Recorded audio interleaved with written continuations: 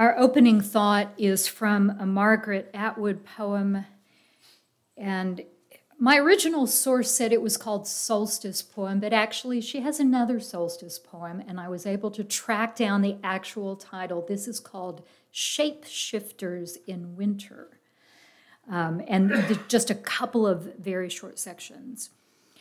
Through the slit of our open window, the wind comes in and flows around us, nothingness in motion, like time, the power of what is not there.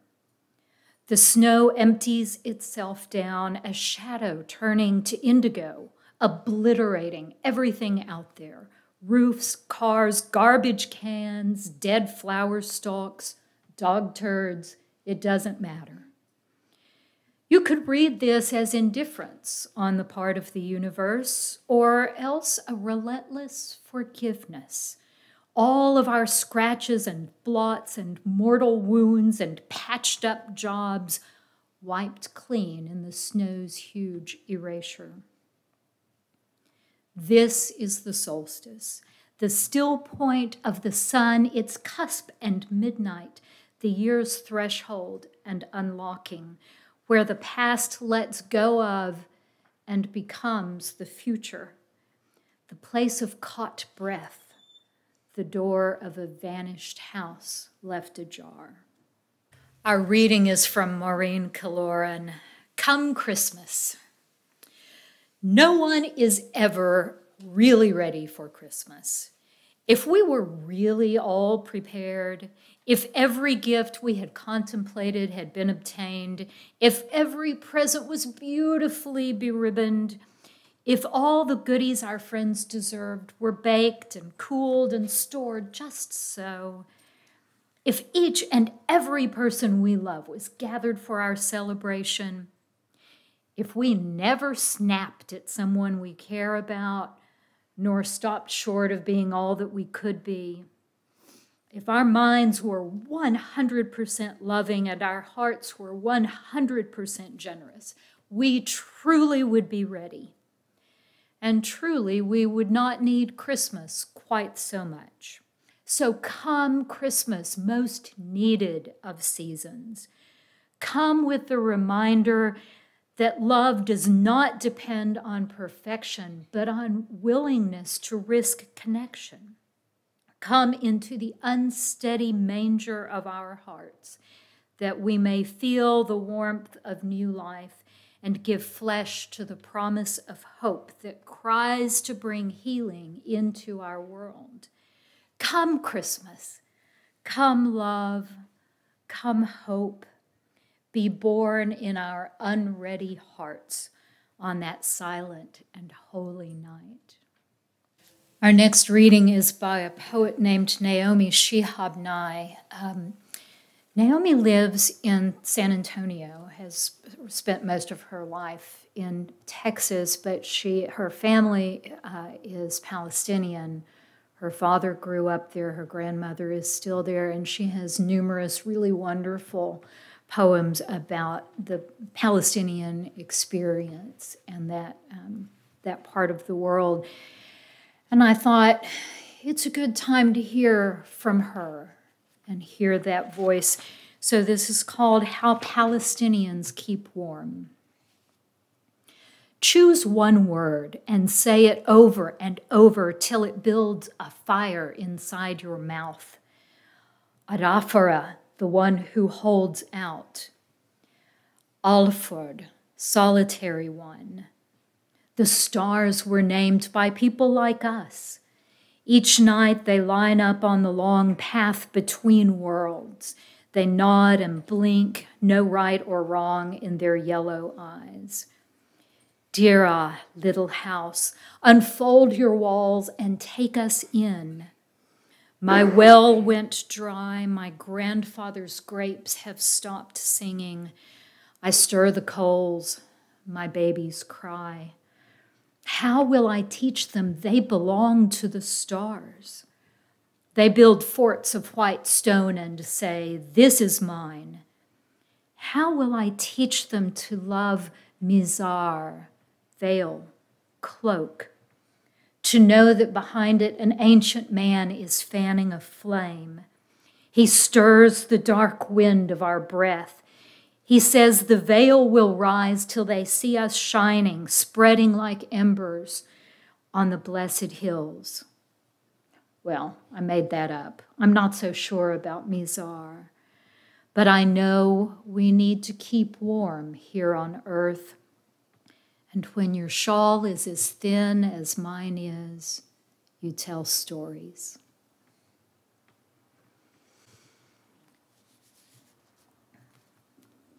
Okay, first, I'm just curious. How many of you think Christmas decorations should go up as early as possible, preferably, oh, mid August? Anyone? The people running the stores seem to think that. My husband came back from Home Depot in October muttering about how they had Christmas decorations up already. He said there were trees blocking the aisles, there was glitter on everything. And then the Christmas music came on, and I almost ran out the door. Tinsel always brings out the Grinch in him. Full disclosure at our house, we celebrate Festivus for the rest of us. um, so, when do you bring out the Christmas finery at your house, or do you? I, I have friends who adore Christmas decorations. And I love the Santa collection over here. That's fun. They love getting to spend a weekend putting up decades worth of collected doodads, greenery, lights, and yes, tinsel. It makes them happy. And it always makes me happy to visit their houses and see everything shining in the twinkle lights, especially since I don't really do any decorating at my house anymore. But Christmas time for some of us just makes us anxious or annoyed or exhausted. We get anxious that we can't live up to our family's expectations or our own. Anxious because we're not sure which traditions we have to keep, even if we personally just hate them anxious because our family members are not playing the roles that we so carefully assign to them. Anxious that our presents are all wrong, or we forgot someone, or the Christmas cookies are burned and the pralines came out grainy. I finally realized that my anxiety in December was not due to my tendency to burn the Christmas cookies. It came from the fact that I don't know how to celebrate the holiday when I don't believe the same things I used to. Yes, carols and colored lights can make me wistful, but not for Santa Claus and cookies. What I find myself missing is that sure belief that I had in childhood in the baby Jesus as the source of love, light, and peace. I remember when I was a kid lying in bed on Christmas Eve, picturing God choosing to put on a human body. Um, there's a great line from a David Wilcox song If God felt a hammer in the palm of his hand. And I just love that line. If God had chosen to come to a teenaged version and her skeptical but steadfast fiance. If God had chosen to be born in the middle of a broad desert to a family with no wealth or power to give him advantage, an ordinary working family like ours. And I remember actually feeling a divine presence settle over me as I laid in my little twin bed. I would lie there visualizing hope and love flooding into the world through one tiny, helpless infant. And then I remember picturing an adult Jesus in heaven smiling down on the earth, wrapping huge ghostly arms around the globe. And I remember that calm certainty that Jesus, through Christians like me, could truly save the world from hatred and war if we were just faithful enough. But then life happened, as it does. I watched people, most of them loudly proclaiming their Christian faith, behaving, well, like humans. That is to say, both with kindness and with startling cruelty. And I behave like that too. I might have prayed on Christmas Eve for baby Jesus to bring peace to the world, but Christmas Day was likely to find me fighting fiercely with my siblings. So I questioned why do people act like that? Does prayer work?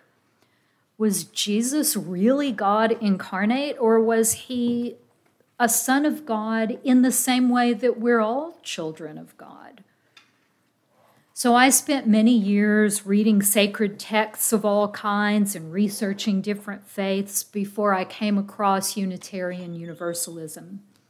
Buddhism, Hinduism, even, Judaism, neo paganism. But really, through all of that seeking, what I was trying to do was find a way to reconcile an adult intellectual understanding of the sacred with that visceral feeling of the sacred that I remembered. And for me, when I was a child, that feeling was strongest on Christmas Eve. I am grateful to have found Unitarian Universalism. It's a place where I can continue to explore, and my understanding of reality can make some crazy U turns, but I don't have to go find a new religious community. I don't have to make up labels or cram my understanding of God and Jesus and the nature of the universe into a neat little box. That part is wonderful. But what we give up when we surrender the need for that box is the comfort of having nice, neat boundaries. We give up the comfort of simple certainties, one answer and one Savior. Even if we still sing, O come, all ye faithful, our experience of it changes. So I still appreciate the meaning of Christmas, but it's a different meaning. It's more complex than God becomes baby, baby is Jesus, Jesus gets killed so humans can be forgiven for being human, and anyone who doesn't believe it is going straight to hell. So, if we don't believe that, what do Unitarian Universalists as a faith, not as individuals, because goodness knows what brings us together is that we're all making our own stuff up, right? But as, as a faith, what do we believe about the meaning of Christmas? What do we agree on?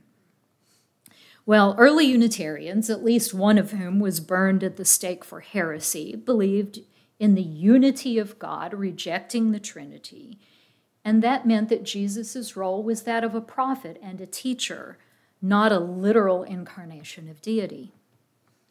And our Universalist forebears believed in universal salvation, one that did not require accepting Jesus as the only Savior. So, most Unitarian Universalists don't believe in the divinity, or at least the unique divinity, of Jesus as the one and only Christ. That doesn't mean he's not important to us. We believe he was a prophet, Buddha, Muhammad, and other great religious teachers. But UUs also believe that we have the responsibility to seek understanding and find new meaning in old traditions. And that new meaning can be just as rich and emotionally powerful as the Christmas stories we learned as children. So, for example, let's take the star, the famous star in the east that led three or four, depending on your source, astrologers to journey across the desert and offer gifts to the newborn king. Was there a star literally pointing down to somebody's barn like a neon arrow in Las Vegas? Well, we're sure there's not. but a comet, a supernova, a conjunction of stars so bright that people remembered it and later connected it to that vision of the birth of their new God. Margaret Gooding wrote a poem, it's in our hymnal, called Why Not a Star, in which she said, They told me that when Jesus was born, a star appeared in the heavens above the place where the young child lay. When I was very young, I had no trouble believing wondrous things. I believed in the star. It was a wonderful miracle, part of a long ago story foretelling an uncommon life. They told me a supernova appeared in the heavens in its dying burst of fire. When I was older and believed in science and reason, I believed the story of the star explained. But I found that I was unwilling to give up the star, fitting symbol for the birth of one whose uncommon life has long been remembered. The star explained became the star understood for Jesus, for Buddha, for Zarathustra.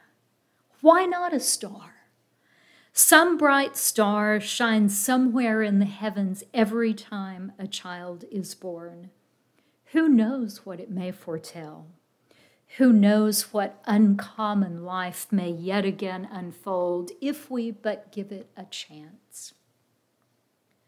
Some bright star shines somewhere in the heavens each time a child is born.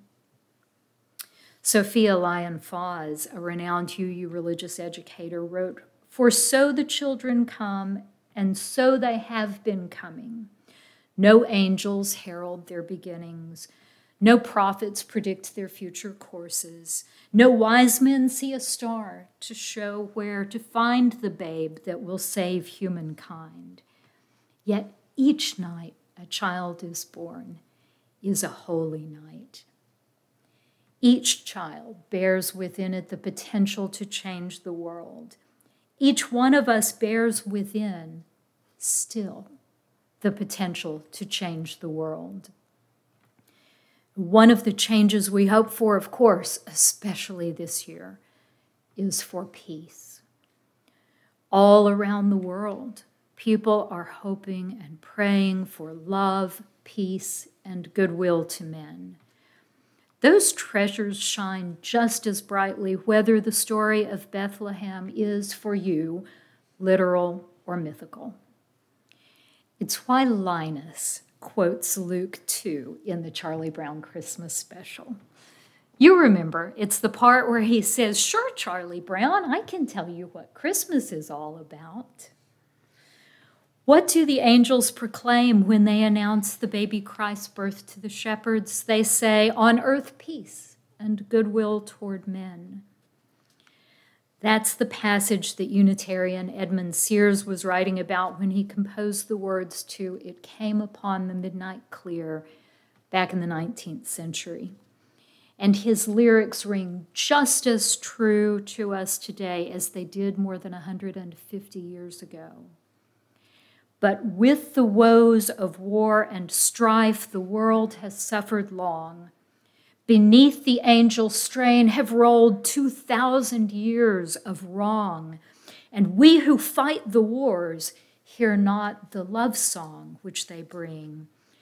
Oh, hush the noise of battle strife and hear the angels sing. And then, in true Christmas spirit, Sears ends on a hopeful note. Peace shall over all the earth its ancient splendors fling, and the whole world give back the song which now the angels sing. No matter how far away peace seems, no matter how much despair and hatred seem to be winning, we can always hope for the breakthrough that brings calm and love. And no matter how long and cold the night, Every dark hour carries in its chill the hope of morning. That hope for a rising sun after the coldest night points us to the oldest meaning of Christmas, one that predates Christ by millennia. Psychologically and spiritually, I think this is where the real emotional power of Christmas comes from. The winter solstice, the longest night of the year. No matter how intellectually certain we are that the sun will rise, and no matter how disconnected our electric lights and central heating allow us to be from the actual cycles of the year, somewhere deep in our reptilian hindbrain is a kernel of despair at the dwindling sun. We need to be reminded, and we need to celebrate the truth that light and warmth do always return. After winter, after tragedy and despair, after grieving, morning always comes. The baby who arrives in the night, the morning sun rising low and weak in the south, both will grow to bring us warmth and joy and eventually a harvest candlelight services speak viscerally to our craving for the sun to return. I love to attend these services on Christmas Eve, watching the flickering light slowly grow to fill the sanctuary while we sing Silent Night. As the flames and the smiles spread across the room, as I watch mothers leaning down to kindle their children's small flames and the flickering light over faces of grandfathers and babes in arms. That's when I feel the power of Christmas all over again. Yes, as the plastic reindeer multiply on my neighbors' lawns and tacky Christmas carols blare through the grocery store, I always grow a little irritated and wistful for a simpler season. But then I remind myself of a more powerful truth. The real power of Christmas manifests when we remind each other that light and hope and love and, yes, even peace are waiting in the wings. We need Christmas, even the most secular of UUs.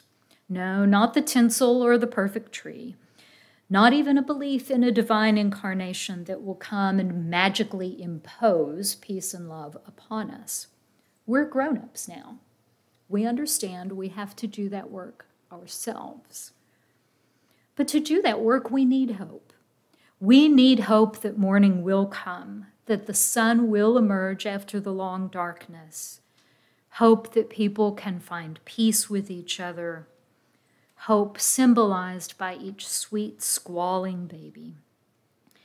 That is what I wish for you. In this month, which can be difficult, may you find reminders of love.